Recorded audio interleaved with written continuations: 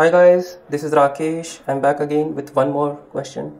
Uh, recently on YouTube, someone asked me that uh, what is bank key and what is account ID, how they are connected. So the answer is bank key is nothing but your IFSC code. Let's talk about SBI Bank.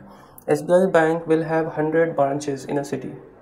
Now all these branches will have a unique ID that is IFSC code that is basically branch ID. When you open a bank account in any bank, you have an account number, you also have the IFSC code that is basically branch number. This account in this branch it says.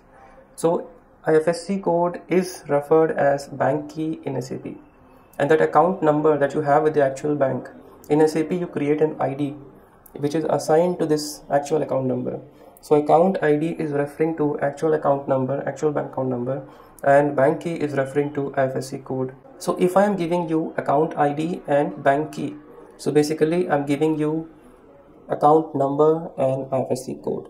I hope this is clear now.